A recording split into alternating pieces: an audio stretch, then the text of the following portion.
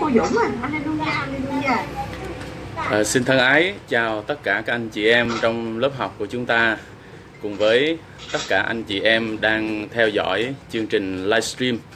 À, giờ này đã, đã đến giờ chúng ta bước vào trong bài học. À, trước khi chúng ta học lời của Chúa, à, xin mời tất cả anh chị em cùng hiệp ý với tôi trong lời cầu nguyện. Lạy Cha yêu dấu của chúng con, chúng con cảm ơn Cha vì một tuần lễ Ngài gìn giữ, bảo vệ từng người trong chúng con một cách bình an và vui thỏa. Cảm ơn Cha về sự chu cấp của Ngài. Cảm ơn Cha vì sự chữa lành của Ngài, sự yên ủi, khích lệ, sự nâng đỡ, đồng hành với chúng con mỗi một bước đường trong cuộc sống. Chúng con vui vì chúng con có một Đức Chúa Trời vĩ đại là Cha nhân từ của chúng con, cũng là người bạn rất thân thiết của chúng con, chia sẻ với chúng con mọi nỗi niềm ở trong đời sống của chúng con và ngài sẵn sàng gánh tất cả những gánh nặng, những nhọc nhằn ở trong cuộc đời của chúng con để chúng con có thể nhẹ nhàng bước đi với Chúa. Chúng con cảm ơn Ngài nhiều lắm. Buổi tối hôm nay, chúng con lại quay quần với nhau ở trên mạng internet để chúng con học hỏi lời của Ngài. Chúng con nói với Chúa một lần nữa rằng chúng con khao khát lời Ngài. Lời của Chúa là linh lương cho cuộc đời của chúng con.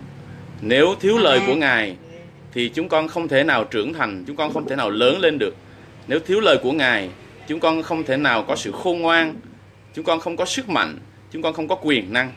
Chúng con sẽ không có một điều tốt đẹp nào cả. Chúng con biết rằng nhờ lời của Chúa mà mỗi ngày chúng con được biến đổi bởi quyền năng thánh linh trở nên tốt đẹp càng hơn. Chúng con cảm ơn Chúa về lời của Ngài. Buổi tối hôm nay, Chúng con mời Chúa Thánh Linh là giáo sư lớn, là thần chân lý, là thần khôn ngoan, hiện diện đầy dẫy giữa vòng lớp học của chúng con. Và xin bày tỏ chân lý cho mỗi một học viên, bày tỏ chân lý cho mỗi một người đang theo dõi chương trình này. Lời Kinh Thánh chép rằng các con sẽ biết chân lý và chân lý sẽ giải phóng các con. Chúng con amen với lời đó. Chúng con tiếp nhận lời đó cho cuộc đời của chúng con. Và chúng con công bố trong danh Chúa Giêsu Christ rằng Chúng con được giải phóng, chúng con được tự do hoàn toàn nhờ chân lý của Chúa. Hallelujah, cảm tạ ơn Ngài nhiều lắm. Cầu xin Chúa sức giàu trên mỗi tấm lòng của chúng con. Cho chúng con có niềm vui tươi mới. Cho chúng con có một sự mềm mại và khiêm nhường để đón nhận hạt giống là lời của Đức Chúa Trời gieo trồng vào trong cuộc đời của chúng con. Và hạt giống đó xin Chúa Thánh Linh làm cho lớn lên để kết quả cho Ngài. Con cảm ơn Ngài nhiều lắm. Chúa sức giàu trên tấm lòng của chính con sức dầu trên tâm trí của con, trên môi miệng của con để con công bố ý muốn của Chúa cho dân sự Ngài. Và qua đó đem phước hạnh lớn lao của Chúa đến cho cuộc đời của từng người mỗi một ngày trôi qua trong cuộc đời.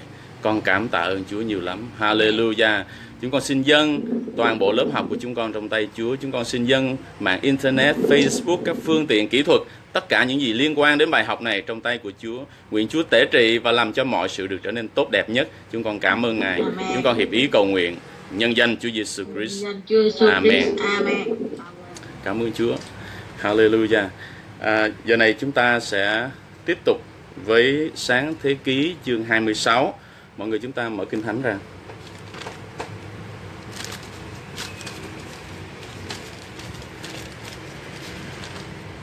Tôi xin đọc lời của Đức Chúa Trời ở trong sáng thế ký chương 26. Ngoài trận đói đã xảy ra trước đây trong thời Abraham, bây giờ trong xứ lại xảy ra một trận đói nữa. Vì thế, Isaac đi đến Gera, gặp Abimelech, vua Philippines. Đức giê hiện đến với ông và phán, Đừng xuống Ai Cập, hãy ở trong xứ mà ta sẽ chỉ cho con. Hãy tạm cư trong xứ này, ta sẽ ở cùng con và ban phước cho con. Vì ta sẽ ban cho con và dòng dõi con tất cả các vùng đất này. Và ta sẽ làm trọn lời ta đã thề với Abraham, cha của con. Ta sẽ làm cho dòng dõi con nhiều như sao trên trời và ban cho dòng dõi con tất cả các vùng đất này. Mọi dân tộc trên thế giới đều sẽ nhờ dòng dõi con mà được phước. Vì Abraham đã vâng lời ta, tuân giữ những điều ta truyền dạy, cũng như các điều răn, mệnh lệnh và luật lệ của ta. Vậy Isaac ở tại Gera, vì Rebecca có nhan sắc nên khi dân địa phương hỏi Isaac về vợ ông thì ông bảo cô ấy là em gái tôi. Ông ngại nói cô ấy là vợ tôi vì sợ những người đàn ông trong xứ có thể vì nàng mà giết mình. Isaac đã ở đó một thời gian dài thì một hôm Abimelech, vua Philippines, nhìn qua cửa sổ và thấy Isaac đang ô yếm vợ là Rebecca. Abimelech đòi Isaac đến và nói, cô ấy chính là vợ ngươi. Tại sao ngươi lại nói cô ấy là em gái tôi? Isaac thưa với vua, vì tôi thầm nghĩ không khéo mình phải bỏ mạng vì nàng chăng? Abimelech hỏi, ngươi đã làm gì cho chúng ta vậy? Nếu lỡ có một người dân đến nằm với vợ ngươi, thì ngươi đã làm cho chúng ta mắc tội rồi. Vì thế, Abimelech truyền lệnh cho toàn dân rằng, ai đụng đến người này hoặc vợ ông ta thì sẽ bị xử tử. Isaac gieo hạt giống trong xứ đó và năm ấy ông thu hoạch gấp trăm lần vì Đức Giê-hô-va ban phước cho ông. Ông trở nên thịnh vượng, của cải ngày một nhiều thêm đến nỗi ông thành một người vô cùng giàu có. Ông có nhiều bầy chiên, bầy bò và rất nhiều đầy tớ nên bị người Philippines ghen tị. Tất cả những giếng mà trước đây các đầy tớ của Abraham, cha ông đã đào, bây giờ đều bị người Philippines lấy đất bít lại. Abimelech nói với Isaac, Ngươi hãy rời xa chúng ta, vì ngươi đã trở nên quá hùng mạnh so với chúng ta. Vậy Isaac bỏ nơi ấy, đến đóng trại tại thung lũng Gera và cư ngụ tại đó. Isaac đào lại mấy cái giếng đã đào trong đời Abraham cha mình. Các giếng ấy đã bị người Philippines lấp lại sau khi Abraham qua đời. Ông gọi tên các giếng đó theo tên mà cha ông đã đặt. Nhưng khi các đầy tớ của Isaac đào giếng trong thung lũng và gặp được một mạch nước phun, thì những người chăn chiên ở Gera đến tranh giành với các người chăn chiên của Isaac. Họ nói, mạch nước này là của chúng tôi, nên ông đặt tên giếng này là Esed vì họ đã tranh giành với ông. Sau đó các đầy tớ đào một giếng khác và cũng bị tranh giành, nên ông đặt tên giếng này là Sitna. Isaac bỏ chỗ đó đi đào một giếng khác và giếng này không bị tranh giành, nên ông đặt là Rehoboth và nói Bây giờ Đức giê va đã cho chúng ta chỗ ở rộng rãi và chúng ta sẽ được thịnh vượng trong xứ này. Từ chỗ đó, Isaac đi lên Beersheba. Đêm ấy Đức Giê-hô-va hiện đến và phán với ông: Ta là Đức Chúa Trời của Abraham, cha của con. Đừng sợ, vì ta ở với con. Ta sẽ ban phước cho con và làm cho dòng dõi con gia tăng, vì Abraham là đầy tớ ta. Isaac lập một bàn thờ, cầu khẩn danh Đức Giê-hô-va và đóng trại tại đó. Rồi các đầy tớ của ông đào ở đó một cái giếng. Vua Abimelech từ Gera đến viếng thăm Isaac Cùng đi có cố vấn Ahusat và chỉ huy trưởng Phicon. Isaac hỏi, các ông ghét tôi và đã đuổi tôi xa các ông. Sao các ông còn đến tìm tôi làm gì nữa? Họ trả lời, chúng ta thấy rõ Đức Giê-hô-va đã phù hộ ngươi, nên chúng ta nghĩ là giữa ngươi với chúng ta phải có một lời thề để kết ước với nhau. Ngươi phải thề chẳng bao giờ làm hại chúng ta, cũng như chúng ta đã không đụng đến ngươi, trái lại còn hậu đãi và để ngươi ra đi bình an. Bây giờ ngươi là người được Đức Giê-hô-va ban phước. Isaac dọn một bữa tiệc và họ cùng ăn uống với nhau. Sáng hôm sau họ dậy sớm, lập lời thề với nhau, rồi Isaac tiễn các người đó lên đường và họ ra đi bình an. Cũng trong ngày đó, các đầy tớ của Isaac đến báo với ông về cái giếng họ mới đào. Họ nói, chúng tôi đã tìm thấy nước. Ông đặt tên giếng đó là Shiba. Vì vậy mà thành ấy có tên là Be-sheba cho đến ngày nay. Khi được 40 tuổi thì Esau cưới vợ. Một người tên là Judith, con gái của Beeri, người Hethit, và một người tên là Batmat, con gái của Elon, cũng người Hethit. Hai cô dâu này là nỗi đắng cay cho cuộc đời Isaac và Rebecca. À, tôi vừa mới đọc xong sáng thế ký chương 26. À, bây giờ thì à, chúng ta sẽ lần lượt đi vào trong các ý mà chúng ta sẽ học trong buổi tối hôm nay. À, điều thứ nhất, tôi muốn cùng với anh chị em học đó là những hoàn cảnh khó khăn, những thử thách và cám dỗ có thể lặp đi lặp lại từ thế hệ này sang thế hệ khác và chúng ta dễ dàng đi vào vết xe đổ của các thế hệ cha ông nếu không chịu lắng nghe, không chịu tin cậy và không chịu vâng lời Đức Chúa Trời. À, chúng ta sẽ cùng nhau đọc lại từ câu 1 đến câu 11 để chúng ta thấy cái ý này.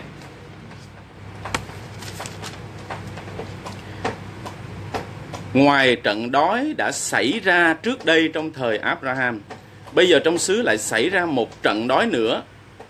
Vì thế Isaac đi đến Gera gặp Abimelech, vua Philippines. Đức giê hiện đến với ông và phán: Đừng xuống Ai Cập, hãy ở trong xứ mà ta sẽ chỉ cho con. Hãy tạm cư trong xứ này, ta sẽ ở cùng con và ban phước cho con, vì ta sẽ ban cho con và dòng dõi con tất cả các vùng đất này và ta sẽ làm trọn lời ta đã thề với Abraham cha của con. Ta sẽ làm cho dòng dõi con nhiều như sao trên trời và ban cho dòng dõi con tất cả các vùng đất này. Mọi dân tộc trên thế giới đều sẽ nhờ dòng dõi con mà được phước vì Abraham đã vâng lời ta, tuân giữ những điều ta truyền dạy cũng như các điều răn, mệnh lệnh và luật lệ của ta. Rồi à, sau đó cái đoạn tiếp theo là cái đoạn nó giống như đã từng xảy ra với lại à, cha của Isaac là Abraham. Ông lại sợ rằng vì cớ sắc đẹp của vợ mình là Rebecca mà người ta sẽ giết chết mình. À, cho nên ông lại nói dối. Ông nói rằng à, Rebecca là em gái của ông. Cuối cùng thì à, một lần nọ khi vua Abimelech, vua của Philippines nhìn qua cửa sổ thấy Isaac đang âu yếm vợ của mình thì ông ta mới biết à thì hóa ra Isaac là người đã nói dối. Và Rebecca không phải là em gái mà Rebecca chính là vợ của Isaac. Thì cái, cái câu chuyện chúng ta thấy nó tương tự. À, anh chị em à, có thể lội ngược dòng quay trở lại những cái à, phần kinh thánh trước mà chúng ta đã học đó thì à, chúng ta thấy nó có một cái sự giống nhau có sự tương đồng. À, lúc trước thì à, Abraham cũng đối diện với một nạn đói và ông đã đưa gia đình ông xuống Ai Cập. Rồi à, à, sau đó thì ông cũng nói dối.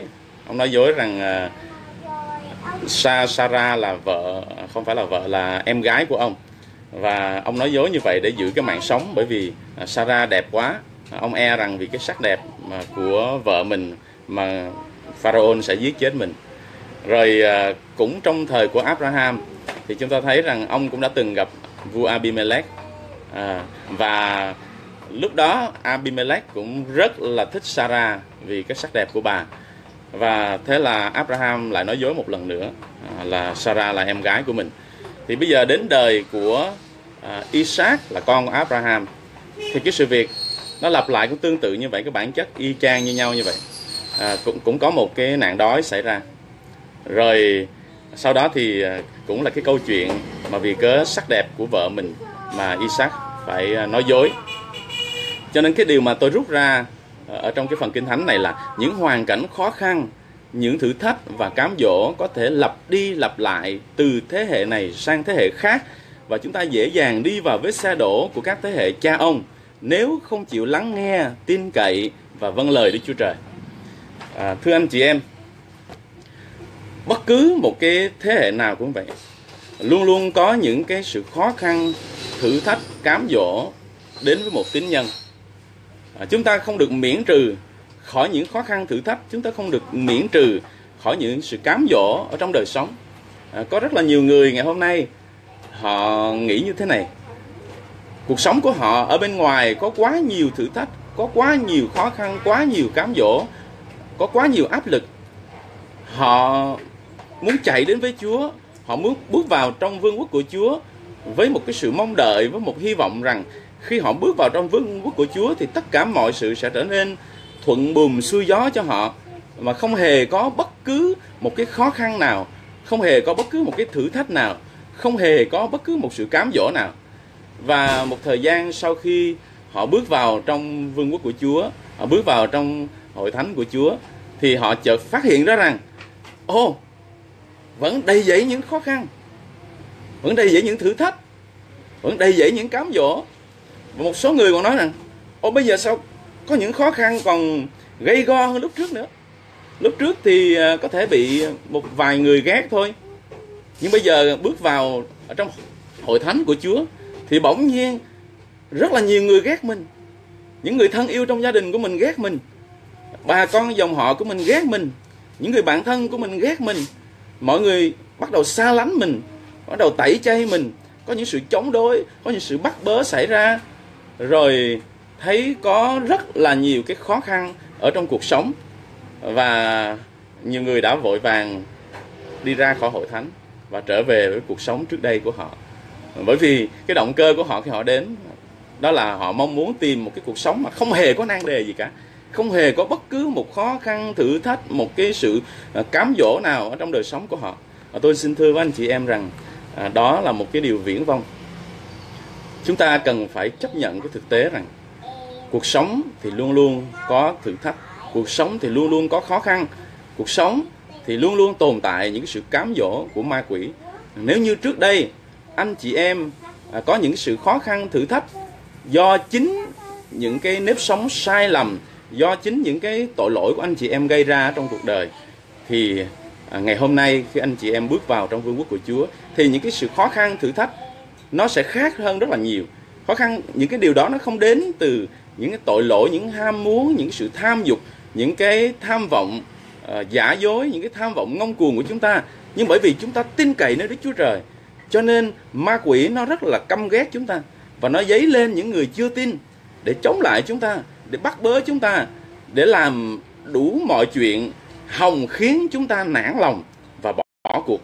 Thưa anh chị em nhưng có một cái điều tuyệt vời đó là chúng ta có Chúa trong đời sống và khi chúng ta đối diện với những khó khăn thử thách đó mà chúng ta tin cậy nơi Chúa chúng ta chăm xem Chúa chúng ta không bao giờ rời ánh mắt khỏi Chúa chúng ta hoàn toàn tập trung vào Chúa chúng ta làm theo sự hướng dẫn của Chúa chúng ta vâng lời Chúa thì chúng ta sẽ chiến thắng chúng ta sẽ vượt qua những khó khăn thử thách đó và chúng ta sẽ đánh bại mọi loại kẻ thù trong cuộc đời của chúng ta vào thời của Abraham thì ông hoàn toàn không ngoại lệ với chúng ta ông đã đối diện với nhiều khó khăn, thử thách, cám dỗ và có đôi lần ông đã thất bại, thưa anh chị em có đôi lần Abraham đã thất bại và trong cái nạn đói năm xưa Abraham đã đối diện, thì ông đã thất bại ở trong việc tin cậy Đức Chúa Trời. Ông đã không có một cái đức tin xác quyết nơi Đức Chúa Trời trong thời điểm đó.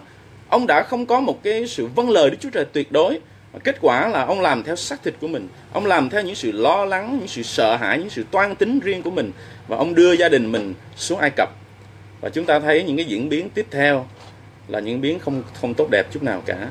Và sau này cái hậu quả từ quyết định sai lầm của Abraham khá là nghiêm trọng. À, nhưng mà chúng ta cảm ơn Chúa là ân điển của Chúa lớn hơn tất cả những sai lầm của Abraham. Cũng như ân điển của Chúa lớn hơn tất cả những sai lầm trong cuộc đời của chúng ta. À, thưa anh chị em, đến thời của Isaac là con của Abraham thì sự việc xảy ra tương tự như vậy. À, Kinh Thánh cho chúng ta biết rằng Isaac cũng đối diện với nạn đói và Isaac cũng có ý định đi xuống Ai Cập. À, lý do tại sao tôi nói như vậy? ở trong cái uh, phần kinh thánh này thì cho chúng ta biết rằng Isaac không có đi xuống Ai Cập à, Isaac ở ở lại Gera à, ở tại cái vùng đất của vua Abimelech bởi vì Đức Chúa Trời bảo với ông như thế và ông vâng lời à, nhưng mà trước đó đó, chúng ta thấy ở trong câu 2 đó, thì kinh thánh ghi rất là rõ, Đức Giê-hô-va hiện đến với ông và phán, đừng xuống Ai Cập, hãy ở trong xứ mà ta sẽ chỉ cho con tại sao Đức Chúa Trời nói rằng đừng xuống Ai Cập. Bởi vì Đức Chúa Trời là đấng toàn tri. Ngài có thể biết được những suy nghĩ ở trong đầu của Isaac. Ngài đọc được những suy nghĩ đó. Ngài biết rằng Isaac có ý định đi xuống Ai Cập. Và đó là lý do vì sao mà Ngài đã nói với Isaac rằng đừng xuống Ai Cập, anh chị em. Và cảm ơn Chúa là Isaac đã vâng lời Chúa không xuống Ai Cập. Chỉ nếu mà Isaac bướng bỉnh, Isaac ngoan cố mà đi xuống Ai Cập á thì tôi tin rằng hậu quả sẽ rất là khó lường. Bây giờ thì Isaac ở tại vùng đất mà vua Abimelech đang quản hạt. Và Chúa hứa rằng Chúa sẽ ban phước cho Isaac và ban phước cho dòng dõi của Isaac.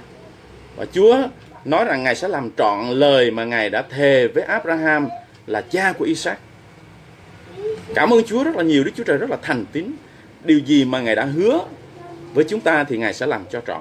Ngài đã hứa với lại Abraham khi Abraham còn sống là Ngài sẽ ban phước cho Isaac và ban phước cho dòng dõi hậu tự của Abraham. Và Ngài đã nhắc lại cái lời hứa đó cho chính cuộc đời của Isaac để Isaac có một sự bình an, để Isaac có một sự vững tin để Isaac sẽ không có quay qua bên phải hay bên trái. Ông sẽ không nhìn mông lung ông không có chạy đi tìm kiếm mông lung để ông đặt trọn đức tin nơi Đức Chúa Trời. Chúng ta cảm ơn Chúa vì Chúa là đấng tuyệt đối thành tín trên cuộc đời của Abraham trên cuộc đời của Isaac và trên mỗi một cuộc đời của chúng ta. Thưa anh chị em à, anh chị em thấy rằng khi mà Isaac đã vâng lời Chúa, không xuống Ai Cập nữa, mà ở tại à, xứ mà vua Abimelech đang quản hạt, thì một cái chuyện lại xảy ra tương tự với chuyện đã xảy ra trong đời của Abraham. Đó là vì cớ vợ của Isaac đẹp quá, Rebecca đẹp quá, cho nên ông lại sợ rằng những người đó sẽ cướp mất vợ của ông và giết chết ông. Cho nên ông lại nói với tất cả mọi người rằng, Rebecca là em gái tôi. Ngày xưa khi Abraham nói với mọi người rằng à, Sarah là em gái của ông thì điều đó trên một phương diện thì không không hề sai chút nào cả. Bởi vì quả thật uh, cái bà Sarah là em gái của Abraham. Nhưng mà bây giờ khi Isaac nói rằng Rebecca là em gái tôi thì lại là một lời nói dối 100% bởi vì Rebecca không hề là em gái của Isaac à, chúng ta sẽ cùng mở ra cái phần kinh thánh này để thấy nha. Cái phần kinh thánh mà cho chúng ta biết uh, Rebecca thật ra không phải là em gái của Isaac. Nó nằm ở trong à, phần cuối của sáng thế ký chương 22 chúng ta mở lại sáng thế ký chương 22 lần đó chúng ta đã học sáng thế ký ký chương 22 nhưng mà tôi không có phân tích cái phần này bởi vì à, không nhất thiết như vậy bây giờ thì à, đến chương 26 này thì cái phần cuối của sáng thế ký chương 22 lại có liên hệ với chương 26 cho nên tôi trở lại với sáng thế ký 22 anh chị em mở ra nha sáng thế ký chương 22 cái phần dòng dõi của Naco uh, Rebecca ra đời đó. Sau các việc đó người ta báo cho Abraham này Minh Ca cũng sinh con cho em ông là Naco. Con trưởng là Usser các con thứ là Buser Kemuel là cha của Aram. Keshet, Haso Findat, Yitlab và Betuen Betuen là cha của Rebecca. À kinh thánh chép rất là rõ ha. Như vậy thì qua cái phần kinh thánh chúng ta đọc chúng ta biết rằng Betuen là con của Naco mà Naco á là em của Abraham.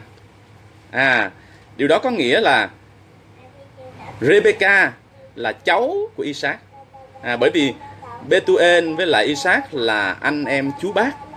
À mà Bethuel là cha của Rebecca. Suy ra Rebecca là vai cháu của Isaac chứ không phải là em gái. À, chúng ta thấy điều đó ha.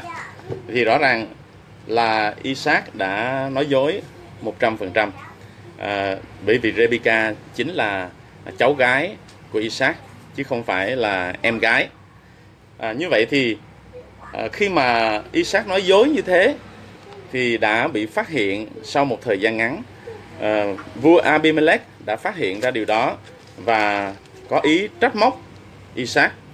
À, ông ấy nói là cô ấy chính là vợ ngươi. Tại sao ngươi lại nói cô ấy là em gái tôi? Isaac thưa với vua vì tôi thầm nghĩ không khéo mình phải bỏ mạng vì nàng chăng? Abimelech hỏi ngươi đã làm gì cho chúng ta vậy? Nếu lỡ có một người dân đến nằm với vợ người thì ngươi đã làm cho chúng ta mắc tội rồi. Vì thế Abimelech truyền lệnh cho toàn dân rằng ai đụng đến người này hoặc vợ ông ta thì sẽ bị xử tử. À, khi đọc đến đây thì tôi có một cái cảm giác là vua Abimelech này chính là vua Abimelech mà đã từng gặp Abraham. Nhưng không không hiểu sao ông này lại uh, sống sống lâu như thế à, bởi vì có vẻ như ông ấy có một cái kinh nghiệm thương đau. Tại vì à, vua Abimelech mà xích chút nữa đã lấy Sarah vợ Abraham làm vợ đó đã từng bị Đức Chúa Trời cảnh cáo rất là nghiêm khắc và ông ấy đã rất là sợ hãi trong lần đó. À, và lần này cũng vậy. Lần này thì chúng ta thấy ông ấy cảm cảm có vẻ như là sợ giống như có một cái kinh nghiệm gì đó trong quá khứ thật ra thì chúng ta không biết chắc chắn bởi vì kinh thánh không có ghi một cách chắc chắn cho chúng ta biết rằng có phải Abimelech này là Abimelech của thời Abraham hay không. Nhưng à, có nhiều khả năng Abimelech này là Abimelech của thời đó mà ông ta sống hơi bị lâu. À, hoặc hoặc cũng có khả năng là ông là à, một cái à, vị vua sau này nhưng mà à, được nghe kể lại những cái câu chuyện của những đời trước. À, nhưng mà điều đó không phải là cái điều quá quan trọng tôi chỉ nói một chút xíu à, để cho chúng ta thấy cái sự thú vị ở trong kinh thánh mà thôi. À, nhưng cái điều quan trọng mà chúng ta thấy ở đây là những cái gì lỗi lầm của Abraham thời xưa những cái gì là điểm yếu của Abraham thời xưa thì trong thời của Isaac á, chúng ta lại tìm thấy một lần nữa.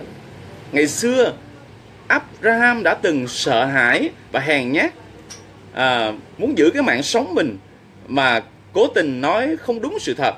Thì ngày hôm nay Isaac cũng lại như vậy nó giống như một cái sự di truyền nó giống như cái gì đó nó truyền từ thế hệ trước qua thế hệ sau. Thưa anh chị em điều đó là một cái điều rất là thực tế. Ở trong cái cuộc sống thực tế của chúng ta à, nếu như chúng ta có cơ hội để chúng ta tìm hiểu các thế hệ trước thế hệ cha ông của chúng ta nếu chúng ta tìm hiểu kỹ thì tôi tin rằng tôi và anh chị em sẽ tìm thấy có một số điểm ở trong chúng ta. Nó là những cái điểm mà đã từng ở trong cha và ông của chúng ta. Và có rất là nhiều cái điều sai lầm cha và ông chúng ta đã từng phạm phải. Những cái điểm yếu những cái điểm dở thì nó hoàn toàn có thể ở trong chúng ta ngày hôm nay. À, thưa anh chị em đó là một điều mà tôi đã khám phá ở trong chính đời sống của tôi. À, một số điểm đã từng có trong cha của tôi thì sau này thì nó có trong tôi. Và nếu như điểm tốt thì tôi rất là vui và tôi muốn giữ lấy tôi muốn phát huy nhưng mà có một số cái điểm nó không tốt. Thì chúng ta phải làm gì? Chúng ta phải làm sao để chúng ta có thể chiến thắng được những cái thất bại mà cha ông ta đã đối diện ở trong thời của họ? Chúng ta phải làm gì, anh chị em? Chúng ta cần phải có lời của đức chúa trời để hướng dẫn chúng ta. Thưa anh chị em, cái bài học thất bại của abraham đó là gì? Đó là vì ông đã không vững tin nơi đức chúa trời ông đã sợ hãi ông đã hèn nhát ông đã lo lắng như vậy thì Isaac ngày hôm nay cần phải rút ra bài học cho cuộc đời của mình. Đó là hãy vững tin nơi Đức Chúa Trời. Không cần phải lo lắng, không cần phải sợ hãi. Đừng hèn nhát nữa. Bởi vì đấng dẫn dắt cuộc đời của chúng ta, đấng bảo vệ chúng ta, đấng chăm sóc chúng ta chính là Đức Chúa Trời toàn năng. Đấng cung ứng cho chúng ta chính là Đức Chúa Trời toàn năng. Chúng ta không cần phải sợ đói. À, tôi nhớ ở trong à, Esai 58 có cho, cho chúng ta một lời hứa rất là tuyệt vời. À, anh chị em có thể cùng với tôi mở ra. Ở trong Esai 58 có một cái lời hứa tuyệt vời sẽ khích lệ đời sống chúng ta rất là nhiều. Trong câu 11 và câu 10 12, câu 11 là đủ rồi. Đức Giê-hô-va sẽ cứ dắt đưa ngươi làm cho ngươi no lòng giữa nơi khô hạn lớn, làm vững mạnh các xương cốt ngươi. Ngươi sẽ như vườn năng tưới như suối nước chẳng hề khô cạn. À, đó là Esai 58 câu 11 thưa anh chị em. Lời của Chúa nói rằng Chúa sẽ cứ tiếp tục dắt đưa chúng ta cứ tiếp tục dẫn dắt chúng ta. Và ngay trong những nơi khô hạn lớn của cuộc đời Ngài sẽ làm cho chúng ta được no lòng Ngài sẽ làm cho xương cốt chúng ta được vững mạnh Chúng ta không cần phải run rẩy, sợ hãi, yếu đuối nữa thưa anh chị em Ngài sẽ làm cho chúng ta như vườn năng tưới, như suối nước chẳng hề khô cạn. Có nghĩa là Ngài sẽ làm cho đời sống chúng ta được thịnh vượng. Ngay trong lúc mà cuộc sống chúng ta đầy dẫy những khủng hoảng, những khủng hoảng về chính trị, những khủng hoảng về kinh tế, những khủng hoảng về xã hội, những khủng hoảng về y tế, rất là nhiều lĩnh vực khác nhau, thì chúng ta hãy vững lòng. Bởi vì đấng dẫn dắt cuộc đời chúng ta không phải là một con người có giới hạn, không phải là một kẻ tầm thường, không phải là một con người bằng xương bằng thịt bị giới hạn bởi những cái quy luật của cõi vũ trụ này. Nhưng mà ngài là một đấng vô hạn. Ngài là đức chúa trời toàn năng. Ngài là đức chúa trời toàn tri. Ngài là đức chúa trời yêu thương chúng ta. Ngài là đức chúa trời thành tín với cuộc đời của chúng ta. Ngài là đức chúa trời hoàn hảo ở trong ngài không có sự sai lầm ở trong ngài không có bất cứ một điều ác nào cả và chính đấng đó đang dẫn dắt cuộc đời của tôi và anh chị em chính đấng đó đã dẫn dắt cuộc đời của Abraham, cuộc đời của Isaac cùng với gia đình của họ.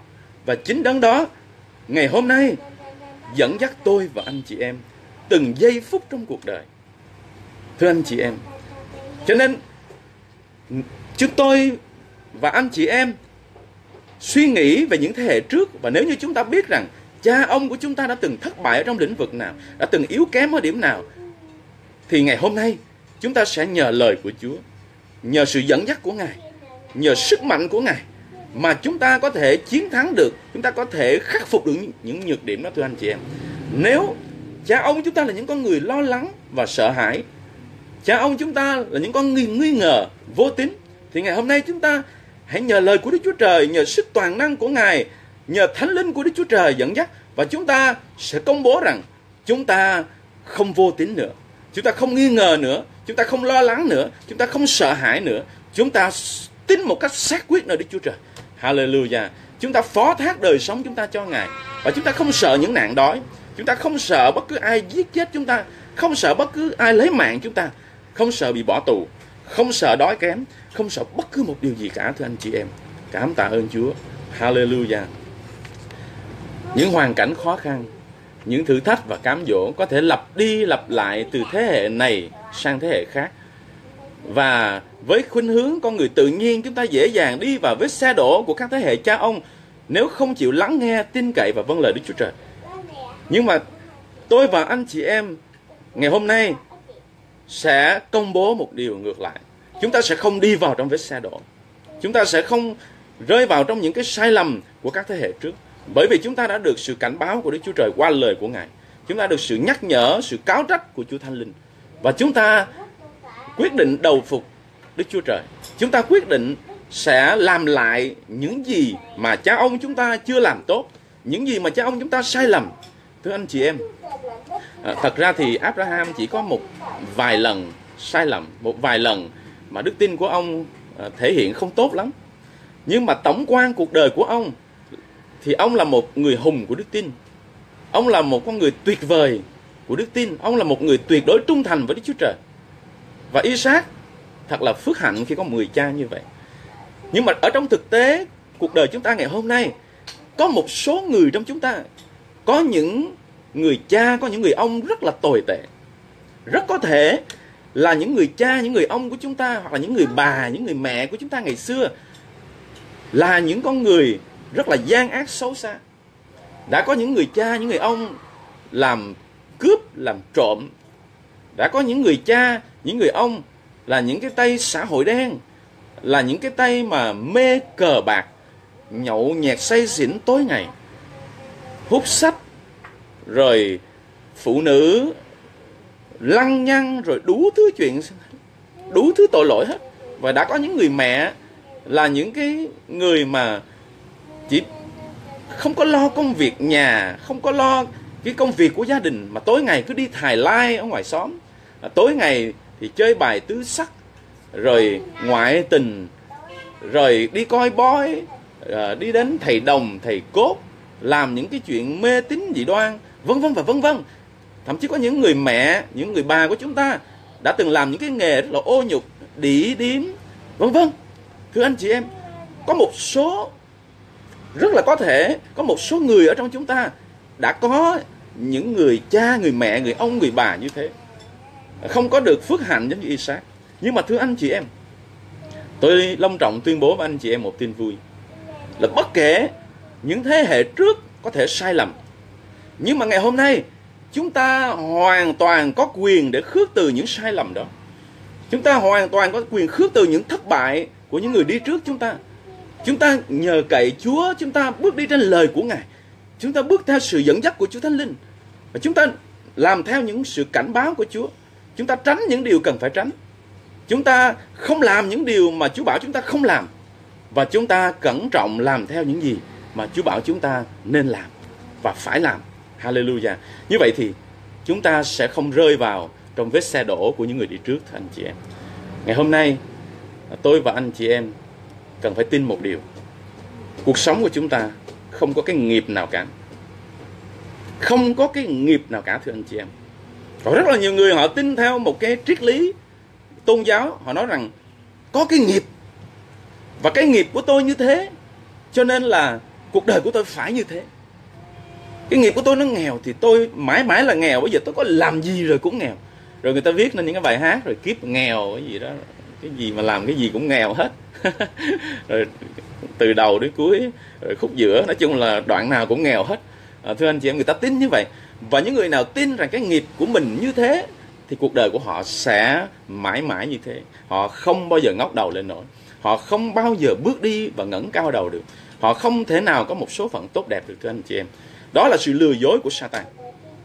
Thưa anh chị em, ngày hôm nay tôi đại diện cho tất cả những con người nào thật sự tin nơi Chúa Giêsu công bố rằng nhân danh Chúa Giêsu Christ, chúng tôi công bố khước từ tất cả những gì mà người ta gọi là cái nghiệp ở trên cuộc đời của chúng tôi.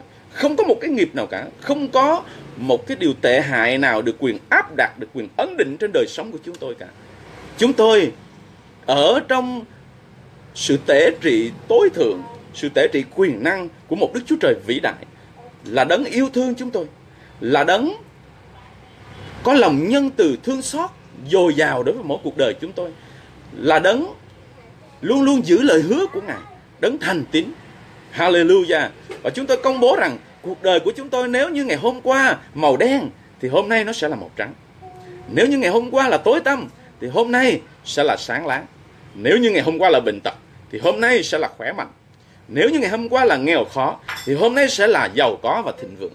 Nếu như ngày hôm qua là dốt nát, thì ngày hôm nay sẽ là có học thức, có sự khôn ngoan, thông sáng. Nếu như ngày hôm qua là căm ghét, thì hôm nay sẽ là yêu thương. Nếu như ngày hôm qua là buồn bã, thì hôm nay sẽ là vui mừng. Nếu như ngày hôm qua là bất an, thì hôm nay sẽ là bình an. Vân vân và vân vân. Hallelujah. Cảm ơn chúa. Anh chị em amen với tôi không? Cảm ơn chúa. Tôi tin rằng tất cả anh chị em đều muốn như thế à, như vậy thì hỡi anh chị em dẫu cho Satan nó muốn gieo rắc những cái điều tồi tệ vào trong dòng tộc của chúng ta và trong chính cuộc đời của chúng ta thì cảm ơn Chúa hôm nay chúng ta có Chúa Giêsu Christ là đấng đã chết thay cho chúng ta trên thập tự giá và đấng đã phục sinh một cách đầy oai quyền, một cách đầy vinh quang. Có một câu hát mà tôi còn nhớ khi nói đến đây thì tôi nhớ cái câu hát đó. Hôm nay Christ oai quyền phục sinh. Anh em hãy ca ngợi tôn vinh. À, tôi nhớ hồi nhỏ ba mẹ tôi dạy tôi hát cái bài hát đó. Hôm nay Chris oai quyền phục sinh. Anh em hãy ca ngợi tôn vinh. Chúa đã oai quyền phục sinh từ trong cõi chết. Ngài đắc thắng sự chết. Ngài cầm cái chìa khóa của sự sống và sự chết trong tay của Ngài. Ngài có quyền ban sự sống cho bất cứ những con người nào chạy đến với Ngài. Ngài có quyền để ban một tương lai tươi mới, một tương lai sáng lạng hơn cho mỗi một người ở trong chúng ta. Cảm tạ ơn Chúa.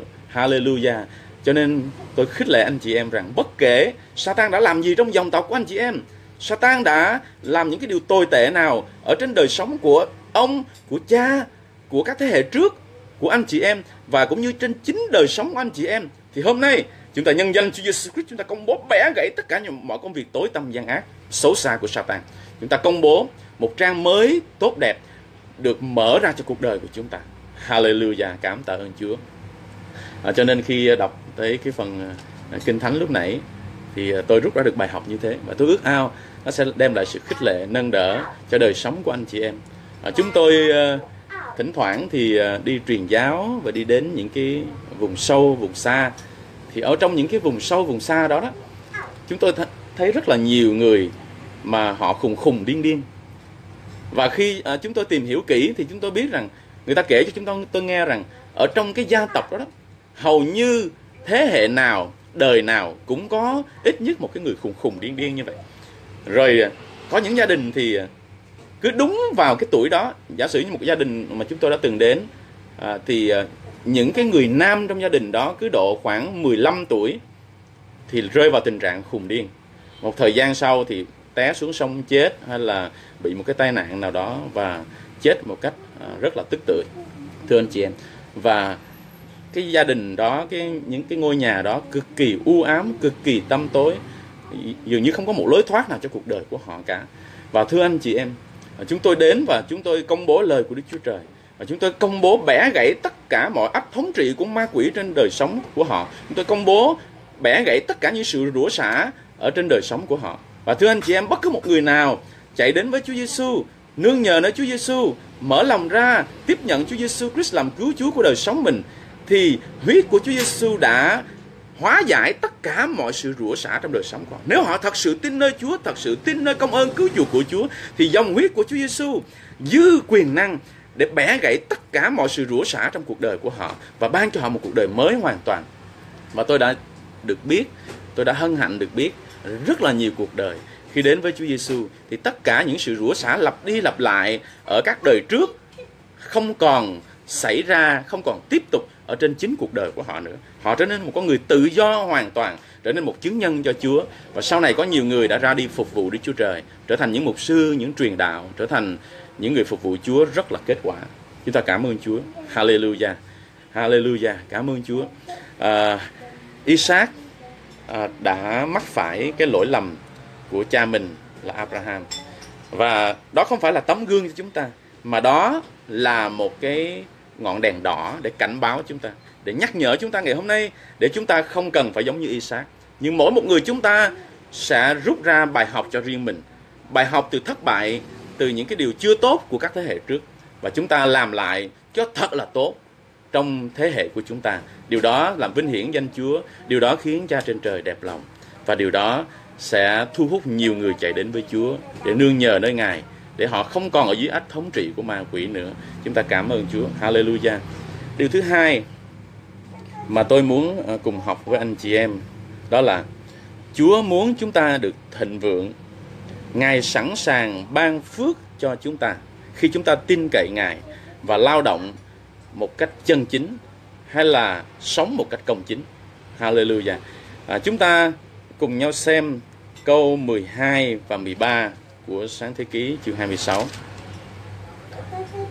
Câu 12 và câu 13 của sáng thế ký chương 26. Isaac gieo hạt giống trong xứ đó và năm ấy ông thu hoạch gấp trăm lần vì Đức Giê-hô-va ban phước cho ông. Ông trở nên thịnh vượng, của cải ngày một nhiều thêm đến nỗi ông thành một người vô cùng giàu có. Ồ, cảm ơn Chúa. Sau cái uh, sự cổ, uh, sự kiện uh, cái biến cố lúc nãy thì chúng ta thấy rằng Kinh Thánh đã kể lại một cái điều rất là tích cực, rất là đáng khích lệ. Đó là Isaac gieo hạt giống. Và khi Isaac gieo hạt giống thì Chúa ban phước cho ông. Và Chúa cho ông có thể thu hoạch gấp trăm lần, gấp trăm lần hơn là so với ai? Anh chị em gấp trăm lần hơn là so với ai? Chắc chắn là so với tất cả những người xung quanh ông là những người cũng gieo hạt giống trong vùng đất đó. À, họ thu hoạch được một thì ông thu hoạch được một trăm.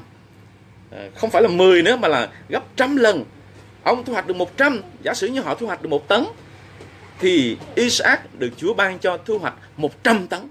Wow, anh chị em thấy tuyệt vời quá. Cảm ơn Chúa vô cùng.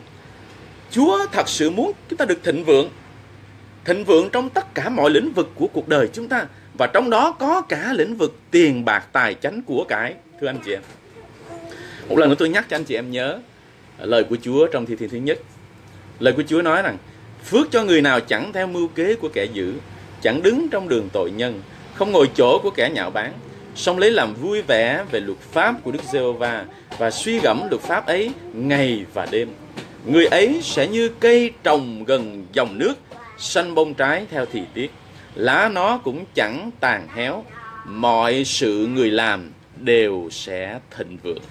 Lời của chúa nói rằng, nếu chúng ta yêu mến kính sợ ngài nếu chúng ta tôn trọng luật pháp của ngài tôn trọng lời của chúa chúng ta giữ lời của chúa ở trong lòng của chúng ta để thực thi chúng ta không có làm theo những cái điều gian ác xấu xa của đời này không đứng chung với những kẻ nhạo báng không ngồi chỗ của kẻ nhạo báng không đi chung đường với những kẻ đó thì Chúa sẽ ban phước một cách dư dật cho cuộc đời của chúng ta. Đến nỗi mà mọi sự chúng ta làm đều sẽ thịnh vượng.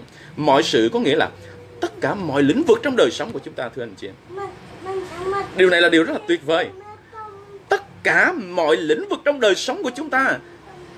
Bây giờ nếu anh chị em có một tờ giấy A4 và một cây bút, anh chị em bắt đầu ghi xuống từng lĩnh vực một.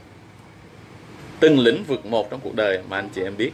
Thì tôi tin rằng cái tờ giấy A4 đó đó cũng không có đủ chỗ chứa đâu bởi vì có rất rất rất rất nhiều lĩnh vực trong cuộc đời của chúng ta và thưa anh chị em có thể lắm tôi và anh chị em đã từng kinh nghiệm phước của Chúa dư dật trong một hoặc là một vài hoặc là một số lĩnh vực nào đó. Nhưng vẫn còn rất rất rất rất nhiều lĩnh vực khác mà chúng ta chưa được phước của Chúa. Chúng ta chưa kinh nghiệm sự thành công. Chúng ta chưa kinh nghiệm sự đắc thắng. Có người thì đắc thắng trong lĩnh vực này nhưng mà lại thất bại trong lĩnh vực khác. Có người thì thất bại trong lĩnh vực này nhưng lại đắc thắng trong lĩnh vực khác. À, cho, cho nên chúng ta chưa từng thật sự kinh nghiệm sự thịnh vượng và phước hạnh của Chúa tràn ngập ở trong mọi lĩnh vực của đời sống chúng ta. Nhưng mà Chúa nói rõ với chúng ta rằng chúng ta hoàn toàn có thể kinh nghiệm một đời sống thịnh vượng, sung mãn về mọi mặt, mọi lĩnh vực trong cuộc đời của chúng ta.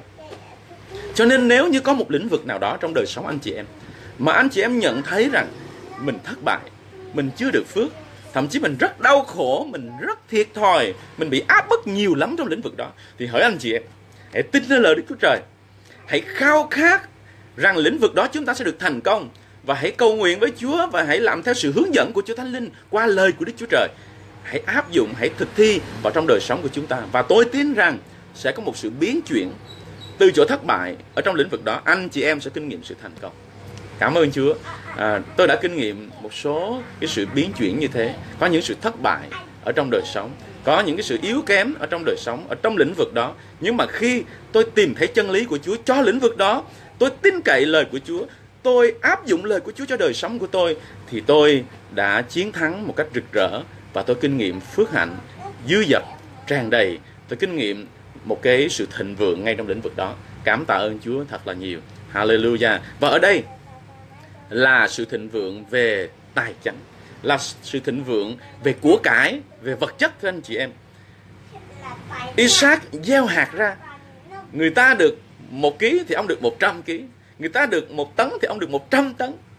Cảm ơn Chúa vô cùng. Gấp trăm lần so với những người xung quanh ông, cũng trên chính cái mảnh đất đó, cũng cái điều kiện thổ nhưỡng đó, cũng điều kiện thời tiết khí hậu đó, cũng y chang như vậy thôi, cũng là hạt giống đó. Nhưng mà có sự ban phước của Đức Chúa Trời thì có một mùa thu hoạch bội bội bội thu. Hallelujah. Cảm ơn Chúa. Thưa anh chị em, hãy tin chắc rằng Chúa muốn chúng ta thịnh vượng trong tất cả mọi lĩnh vực và trong đó có tài chánh. Và thưa anh chị em, lĩnh vực tài chánh là một lĩnh vực rất là quan trọng.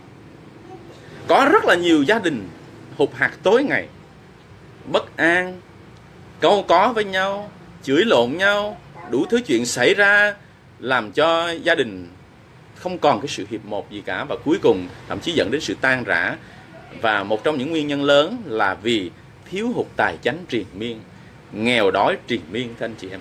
Cho nên, tôi long trọng tuyên bố với anh chị em rằng những sự nghèo đói không bao giờ đến từ Đức Chúa Trời.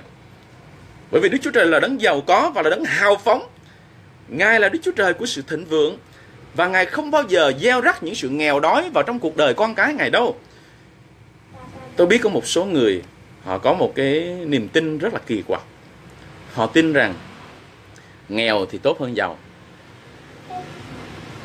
Thậm chí có một số tôi tới chúa được chúa ban phước được dư dật thì họ nhìn vào các tôi tới chúa đó và họ nói rằng ông này chắc là lấy tiền của hội thánh ăn hay là như thế nào đó tham nhũng hối lộ hay như thế nào đó mới giàu. Đương nhiên trong thực tế rất có thể có một số tôi tới chúa không có trung thành không có ngay thật có cái máu tham.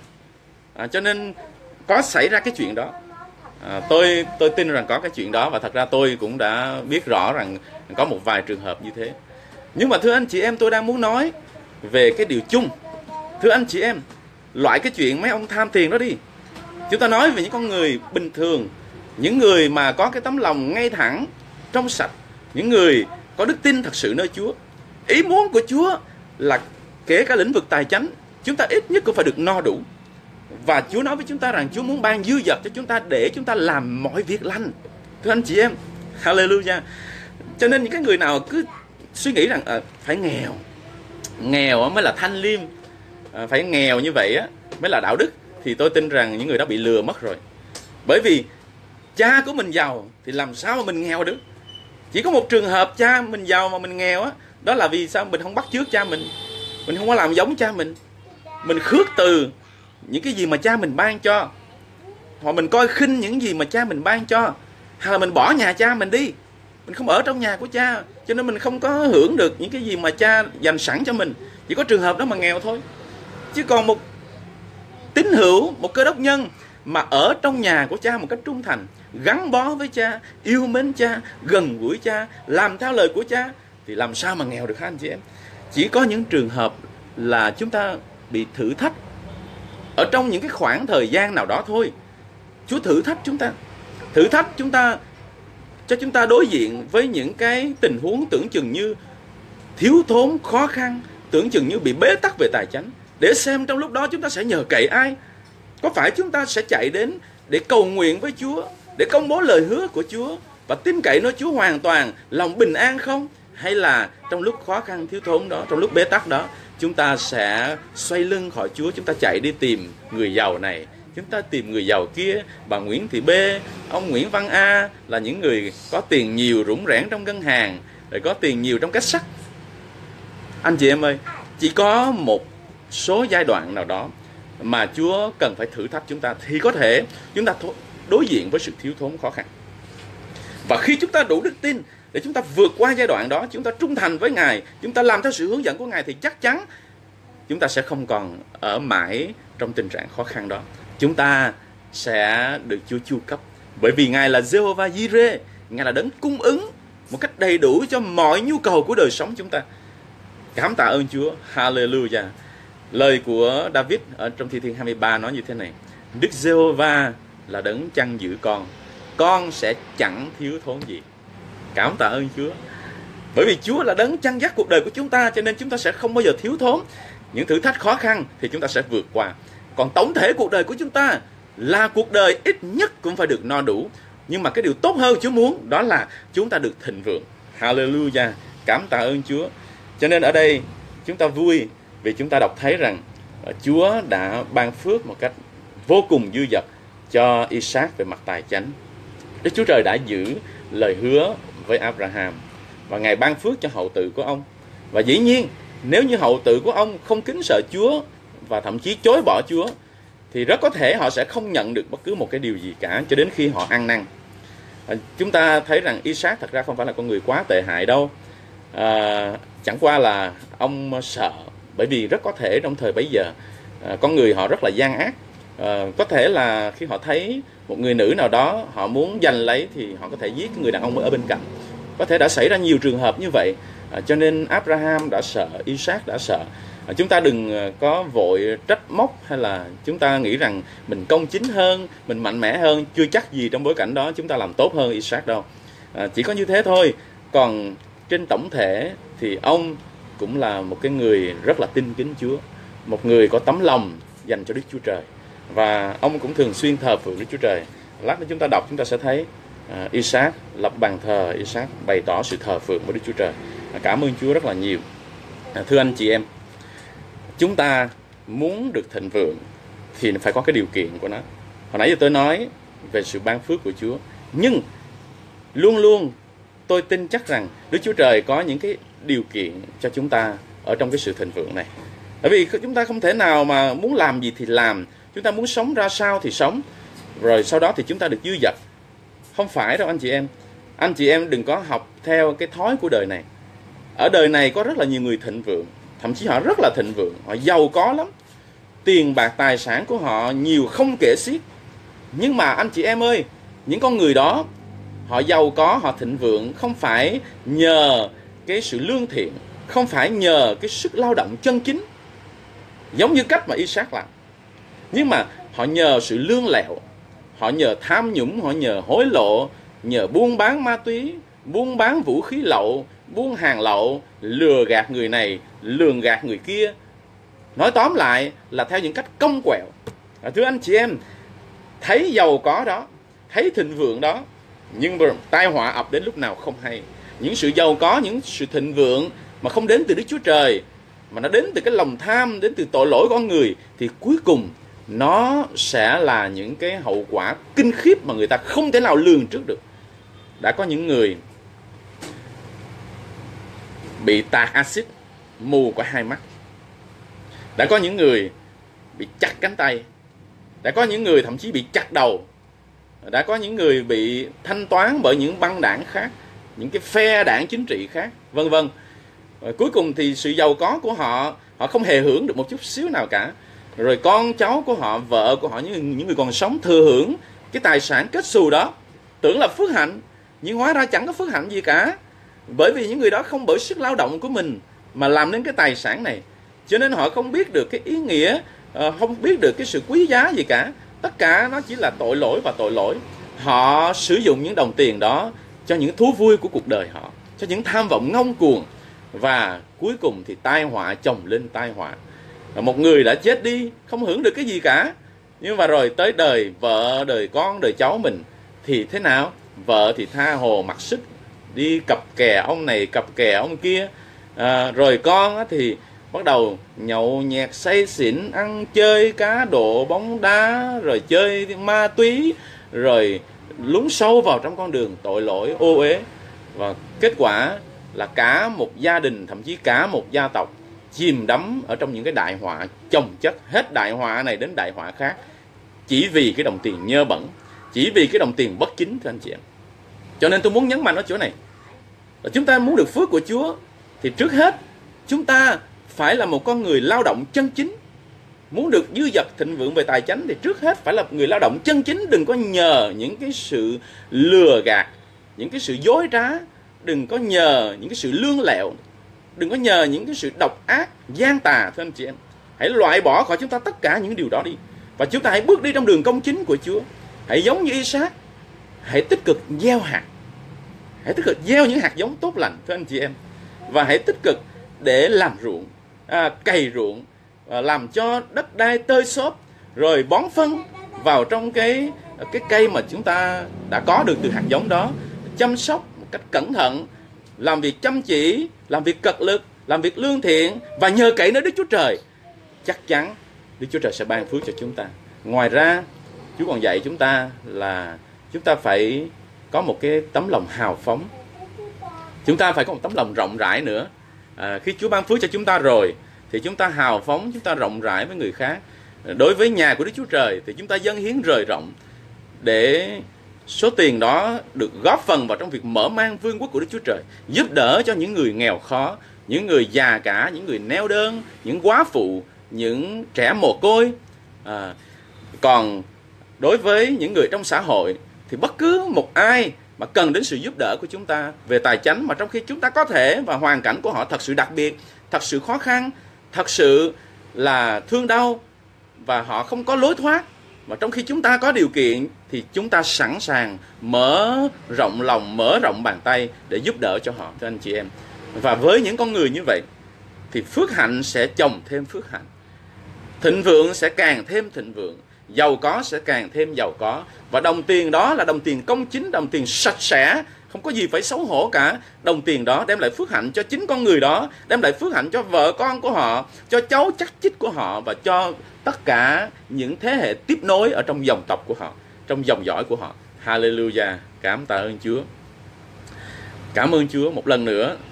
Tôi nói một cách mạnh mẽ với anh chị em rằng nếu như người nào là người bấy lâu nay vì những sự dạy dỗ sai trật nào đó mà tin rằng ôi mình nghèo nghèo như vậy đó à, đói cho nó sạch rách cho nó thơm à, nghĩ là vậy là sai cái câu đó không hề có ý đó. Đói cho sạch rách cho thơm có nghĩa là ngay cả trong những hoàn cảnh mà chúng ta đói mà chúng ta có rách rưới chúng ta có khó khăn có thiếu thốn ngay trong những hoàn cảnh đó đừng có tham lam đừng có dự phần vào những việc nhơ bẩn để rồi có được cái đồng tiền chu cấp cho đời sống mình. Cái ý của câu đó là như vậy chứ không phải là đói cho nó sạch rách cho nó thơm. Không phải như vậy. Thật ra mấy cái người mà nghèo là không có thơm bằng mấy người giàu đâu. mấy cái người giàu mấy người có nhiều tiền họ thơm hơn. À, cho nên nói cái kiểu đó thì không đúng theo nghĩa nào cả. À, nghĩa bóng cũng sai mà nghĩa đen cũng sai. À, cái việc mà nghèo nó không có làm cho chúng ta sạch hơn nó không làm chúng ta thơm hơn đâu. À, thật ra sạch hay là thơm á, là ở thái độ của tấm lòng. À, ở cái cách chúng ta sống thưa anh chị em. Anh chị em amen không? Cho nên người giàu sống đàng hoàng thì đương nhiên sạch thơm. À, người nghèo mà sống đàng hoàng sạch thơm. Nhưng mà giàu mà sống không đàng hoàng là dơ, là hôi hám, bẩn thỉu. Anh chị em amen với tôi không? Hallelujah. Cảm ơn chúa. Cho nên, chúa muốn chúng ta được thịnh vượng trong tất cả mọi lĩnh vực, kể cả về phần tài chánh. Ngài sẵn sàng ban phước cho chúng ta khi chúng ta tin cậy ngài và lao động một cách chân chính. Amen. Tôi chúc cho tất cả các anh chị em đều kinh nghiệm được sự thịnh vượng để rồi chúng ta có thể giúp đỡ cho nhiều người nghèo khó xung quanh chúng ta à, còn nếu chúng ta thiếu thốn khó khăn có đôi khi chúng ta thương một người nào đó lắm nhưng mà chúng ta không có đủ ăn không đủ mặc thì lấy đâu mà chúng ta giúp đỡ cho họ phải không anh chị em? Cho nên nếu chúng ta giàu có thịnh vượng trong sự công chính thì chúng ta lại càng làm vinh hiển Đức Chúa Trời. À, cảm ơn Chúa. Cứ mỗi một lĩnh vực mà chúng ta được thịnh vượng thì chúng ta lại càng làm vinh hiển Đức Chúa Trời của chúng ta hơn. Bởi vì trong lĩnh vực đó người ta biết rằng có một Đức Chúa Trời vĩ đại đang ở cùng và ban phước cho chúng ta. Amen. Cảm ơn Chúa. Điều thứ ba tôi muốn cùng à, học với anh chị em đó là người được Đức Chúa Trời ban phước luôn bị ganh ghét đố kỵ bởi những kẻ không tin kính Chúa à, đây là một thực tế mà chúng ta phải chấp nhận và chúng ta sẽ vượt qua sẽ chiến thắng nếu chúng ta vững tin nơi Chúa bước theo sự dẫn dắt đầy khôn ngoan và quyền năng của Ngài. Thưa anh chị em, khi chúng ta được phước cũng là lúc mà chúng ta sẽ bị ganh ghét. Đó là một thực tế mà tôi và anh chị em cần phải chấp nhận. À, có nhiều người cảm thấy rất là hụt hẫng, cảm thấy rất là ngỡ ngàng à, khi mà họ chưa được phước lắm thì à, có đôi khi không ai nói gì tới họ hết à, chẳng có ai ganh ghét chẳng có ai đố kỵ chẳng có ai muốn làm hại họ cả à, nhưng mà khi họ bắt đầu được phước trong lĩnh vực nào đó à, thì bắt đầu Satan nó dấy lên những con người ganh ghét đố kỵ thậm chí muốn làm hại muốn loại bỏ họ à, muốn tẩy chay họ. À, thưa anh chị em chúng ta hãy có một đầu óc thực tế ở trong cuộc đời này. À, chúng ta đừng có giống như những con người mà chúng ta cứ ngồi đó chúng ta sống ở trong một cái thực tế ảo cứ hư hư thực thực như vậy. Chúng ta toàn là nói những cái điều lý thuyết suy nghĩ những cái điều lý thuyết không thôi và cuối cùng là cuộc đời của chúng ta nó cứ bầm dập mãi. Chúng ta cần phải thực tế lời của đức chúa trời rất là thực tế. À, nếu như có ai đó nghĩ rằng lời của chúa là lý thuyết, là mơ hồ, không thực tế thì người đó hoàn toàn sai lầm. Tôi nói với anh chị em một cách chắc chắn, đó là lời của đức chúa trời rất là thực tế. Thực tế cho tất cả mọi thế đại, từ thời cựu ước cho đến thời tân ước, ngay tại thời của chúng ta. Lời của chúa vô cùng thực tế. Bởi vì khi chúng ta áp dụng lời của chúa vào, thì chúng ta sẽ thấy được sự đắc thắng và sự thành công thưa anh chị em Isaac khi được thịnh vượng rồi thì chúng ta đọc trong cái phần kinh thánh sắp tới đây chúng ta sẽ thấy bắt đầu có những sự ganh ghét đố kỵ rồi tranh giành rồi đủ thứ hết thiếu điều muốn đánh lộn đánh lạo luôn. Chúng ta cùng nhau đọc nha. Chúng ta đọc uh, câu 14 cho đến câu 33 để thấy cái, cái ý này. Câu 14 cho đến câu 33 của chương 26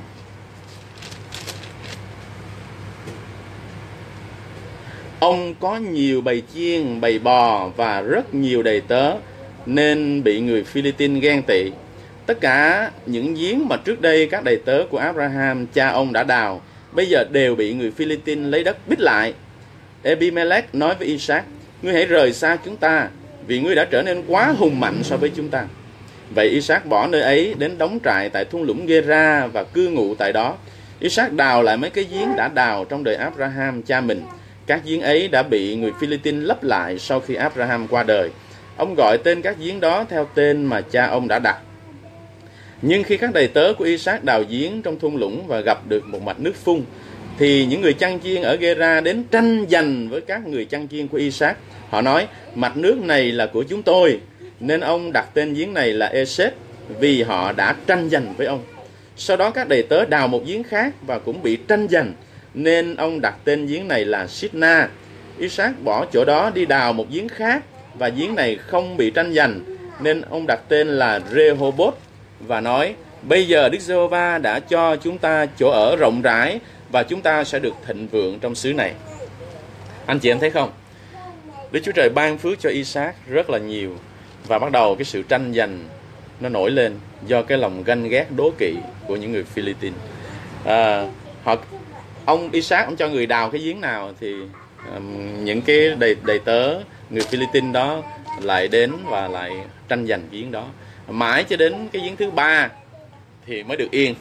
À, thật ra thì tất cả nó đều có ý nghĩa của nó. Tại sao lại không tiếp tục tranh giành hoài nên giành mãi mà cuối cùng thì cũng có lúc được yên?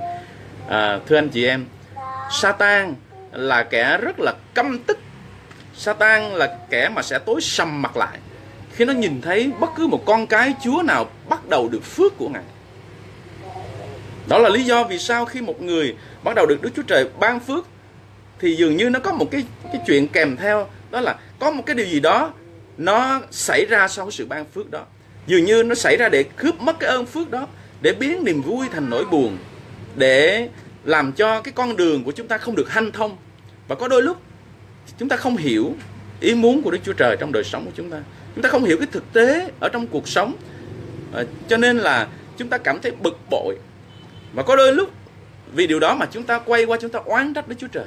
Chúng ta nói Chúa ơi sao Chúa ban phước cho con mà Chúa không chịu gìn giữ bảo vệ để cho cái điều này điều nọ nó xen vào nó quấy nhiễu nó làm cho con bực mình quá. Con không có thoải mái để nhận cái ơn phước của Chúa. Anh thưa anh chị em Satan là kẻ vô cùng xấu tính cho nên nó luôn luôn muốn thọc gậy bánh xe. Nhưng mà có một tin vui tôi muốn thông báo với anh chị em. Đó là Đức Chúa Trời đứng về phía chúng ta. Đức Chúa Trời biết hết tất cả mọi việc Satan làm. Và Đức Chúa Trời là đấng có quyền tể trị trên tất cả mọi tình huống.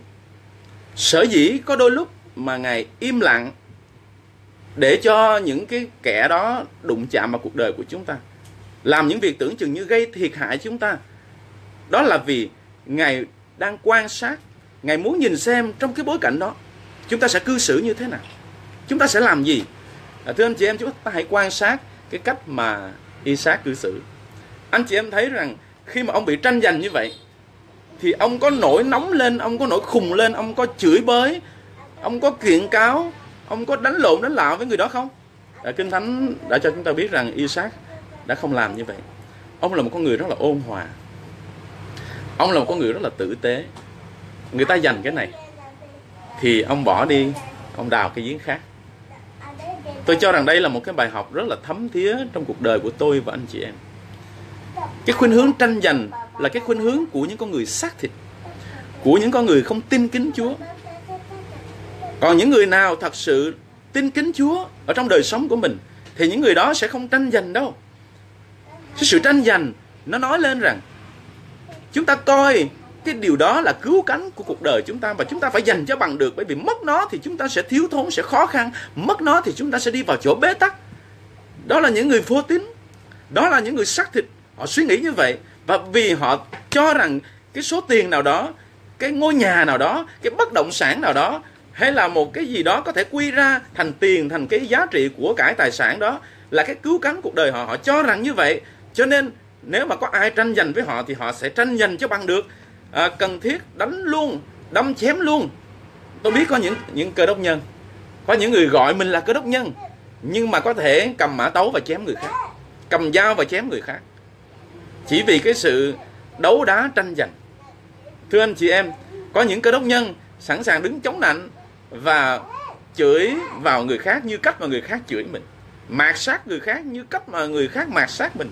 Thậm chí có những cơ đốc nhân văn tục và chửi thề như vậy thì tôi cho rằng cái chữ cơ đốc nhân đó phải đóng ở trong ngoặc kép. Bởi vì một cơ đốc nhân mà làm như vậy thì không xứng đáng với danh hiệu một cơ đốc nhân. Thưa anh chị em, nếu mà gọi là cơ đốc nhân á, thì cơ đốc nhân nó phải nằm ở trong ngoặc kép. Đó là cái cái sự chế giễu mà thôi, sự giễu cợt mà thôi, chứ không có cơ đốc nhân nào mà lại đi đâm chém người khác, rồi giành giật với người khác, rồi toan làm hại người khác, rồi văn tục chửi thề, làm y như cách người khác anh chị em ơi tôi muốn nói với anh chị em một điều thế này nè.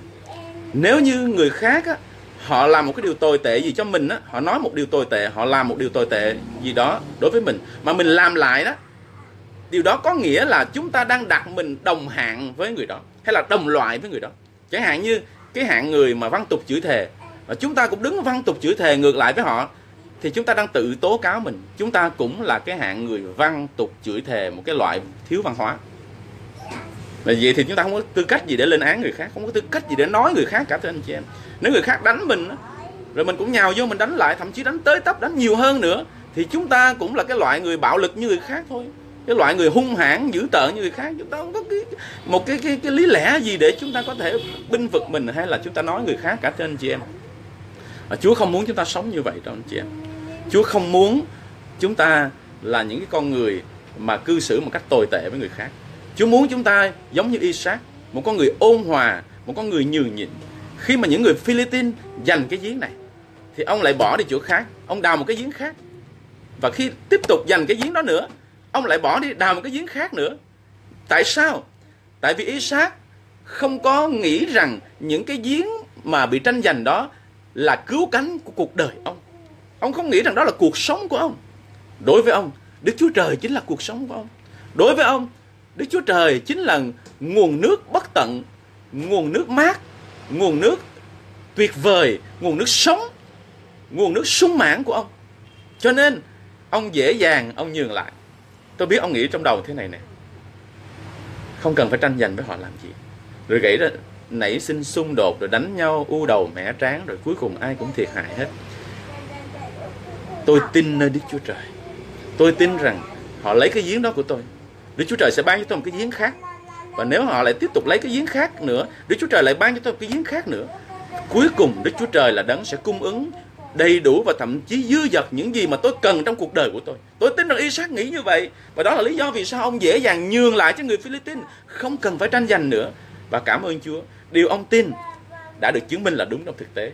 Đến lần thứ ba thì ông không còn bị tranh giành nữa. À, Kinh Thánh đã cho chúng ta biết rất là rõ ha.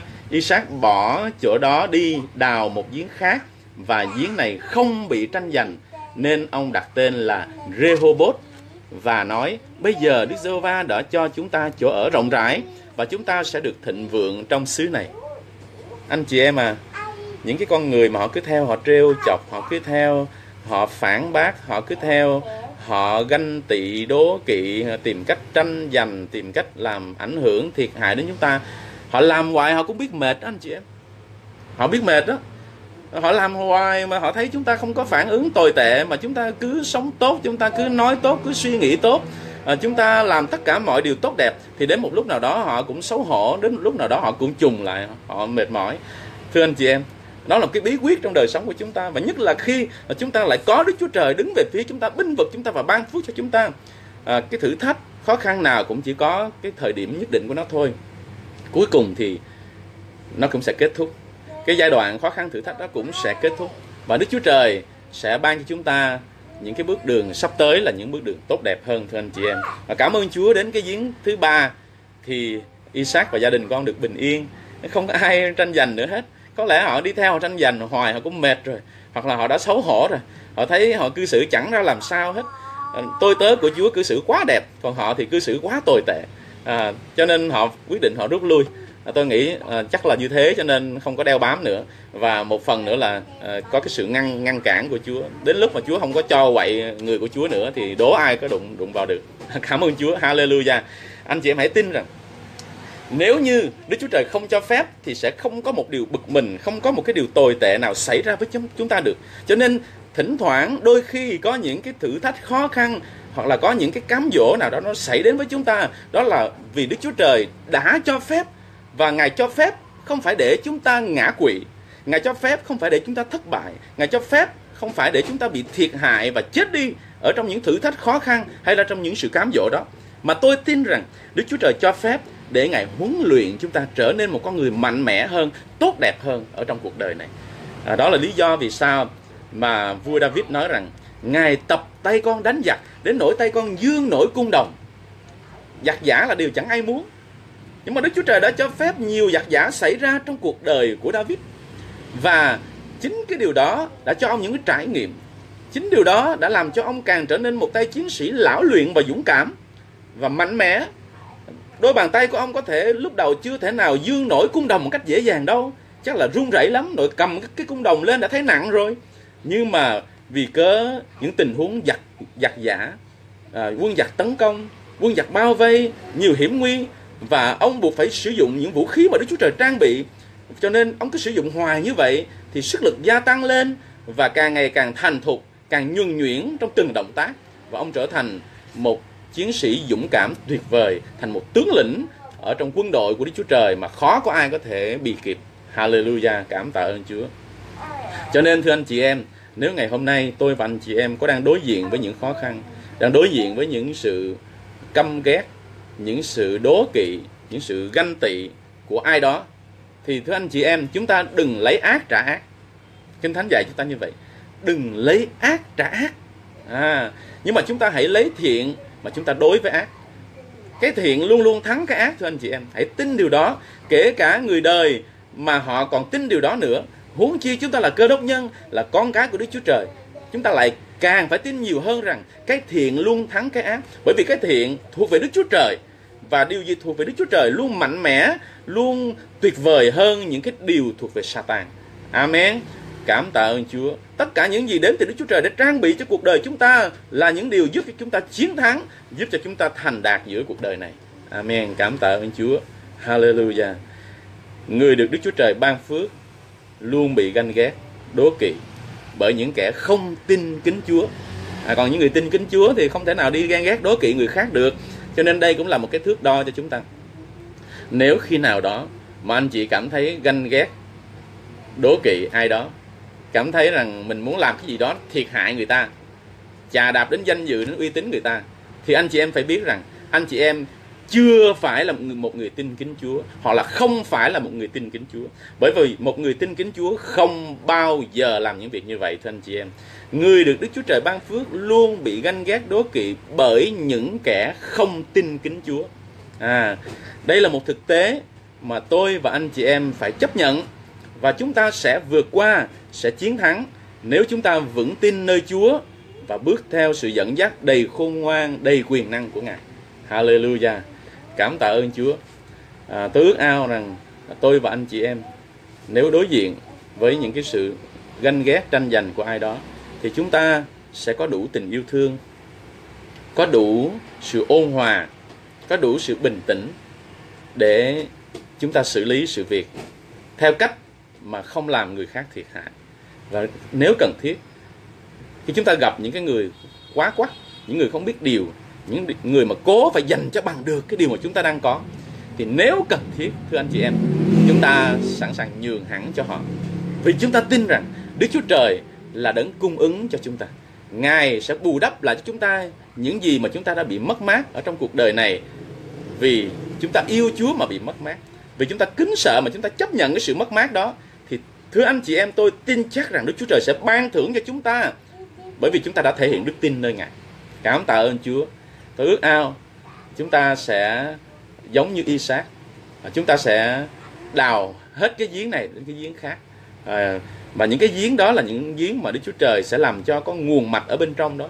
Nước phun lên những cái giếng mà có cái nguồn mạch ở trong đó là những giếng mà nó trong và nó ngọt nó mát lắm. À, tôi đã từng thấy những cái giếng như vậy à, ở tại à, mảnh đất tây ninh đó. ngày xưa thì à, tôi có đi lính ở tại đó. À, thì một lần nọ tôi thấy có một cái giếng mà nó gọi là giếng mội đó. À, nước nó cứ phun lên liên tục mà nước trong vắt uống vào rất là ngọt và nó mát một cách lạ luôn Đức Chúa Trời sẽ ban cho chúng ta những cái giếng như vậy. Hallelujah. Và ở trong thời cha ông của chúng ta nếu như có những cái giếng nào giống như vậy những cái giếng tốt lành mà bị lấp lại. Vì cớ thời gian à, vì cớ những kẻ ganh ghét. Thì thưa anh chị em chúng ta hãy đào những cái giếng khơi lại những cái giếng đó đi. Những cái giếng nó tượng trưng cho những truyền thống tốt đẹp mà cha ông chúng ta để lại. Những truyền thống đức tin tốt đẹp không phải là truyền thống của tôn giáo không phải là truyền thống của loài người. Thưa anh chị em chúng ta cần phải phân biệt. Truyền thống nó có truyền thống tốt đẹp và truyền thống không tốt đẹp có những truyền thống hợp lý và những truyền thống bất hợp lý. Như vậy thì những cái gì nó hợp lý, nó tốt đẹp thì chúng ta giữ lại và chúng ta phát huy. Nếu như nó đã bị mai một thì chúng ta sẽ mài dũa lại, chúng ta làm cho nó sắc bén trở lại, nó tốt đẹp trở lại. Những gì mà cha ông của chúng ta đã làm tốt, chúng ta giữ lại và phát huy. Còn những gì mà cha ông chúng ta làm không tốt thì thưa anh chị em, chúng ta đừng bắt chước. Amen. Cảm tạ ơn chúa. Hallelujah. Ở buổi tối hôm nay à, chúng ta đã đi qua 3 điểm. Điểm thứ nhất là những hoàn cảnh khó khăn, những thử thách và cám dỗ có thể lặp đi lặp lại từ thế hệ này sang thế hệ khác và chúng ta dễ dàng đi vào vết xe đổ của các thế hệ cha ông nếu không chịu lắng nghe tin cậy vâng lời Đức Chúa Trời. À, đó là cái điểm thứ nhất chúng ta rút ra được à, ở trong cái sáng thế ký chương 26 và điểm thứ hai là Chúa muốn chúng ta được thịnh vượng ngay cả trong lĩnh vực tài chánh Ngài sẵn sàng ban phước cho chúng ta khi chúng ta tin cậy Ngài và lao động một cách chân chính hoặc là sống một cách công chính. Đó là điểm thứ hai. Và điểm thứ ba, à, tôi mới vừa nói với anh chị em, tôi nhắc lại để có thể thấm sâu vào lòng anh chị em. Đó là người được Đức Chúa Trời ban phước luôn bị ganh ghét, đố kỵ bởi những kẻ không tin kính Chúa. Đây là một thực tế mà chúng ta phải chấp nhận và chúng ta sẽ vượt qua, sẽ chiến thắng nếu chúng ta vững tin nơi Chúa, bước đi theo sự dẫn dắt đầy khôn ngoan và quyền năng của Ngài. Cảm ơn Chúa. Tôi ước ao rằng à, ba điều này sẽ đem đến phước hạnh cho đời sống của anh chị em. Để rồi dẫu cho anh chị em có gặp bất cứ khó khăn thử thách nào trong cuộc đời, à, dẫu cho anh chị em có bị kẻ thù vây bọc tấn công như thế nào, có bị người ta ganh ghét đố kỵ như thế nào, người ta làm cho anh chị em thiệt hại hay là muốn hãm hại anh chị em, muốn tiêu diệt anh chị em như thế nào, thì anh chị em sẽ không nao núng, không sợ hãi. Anh chị em sẽ luôn vững tin nơi Chúa, sẽ luôn nhờ cậy nơi Ngài trong mỗi một bước đường của mình. Và anh chị em là người chiến thắng. Tôi cũng sẽ làm y chang như vậy. Và tất cả chúng ta sẽ là người chiến thắng. Tôi tin như thế. Đức Chúa Trời không thiên vị ai cả. Nếu như Ngài có thể cho một số người là những tôi trung của Chúa kinh nghiệm sự đắc thắng, sự thành đạt rực rỡ trong cuộc đời, làm vinh danh Chúa, thì Ngài hoàn toàn mong muốn điều đó ở nơi cuộc sống của tôi và anh chị em. Và Ngài chắc chắn sẽ giúp đỡ chúng ta để chúng ta hoàn thành được những điều gì mà chúng ta vốn bất năng không thể hoàn thành. Bởi vì Ngài là Đức Chúa Trời toàn năng, bởi vì Ngài là Đức Chúa Trời yêu thương chúng ta, bởi vì Ngài là Đức Chúa Trời thành tín. Cảm ơn Chúa. Hallelujah. À, hẹn gặp lại tất cả anh chị em trong lớp à, vào lúc à, tối thứ tư tuần sau, lúc 8 giờ và hẹn gặp lại tất cả anh chị em đang theo dõi livestream vào lúc 8 giờ 20 tối thứ tư tuần sau. Cậu xin Chúa ban phước cho tất cả anh chị em. Amen.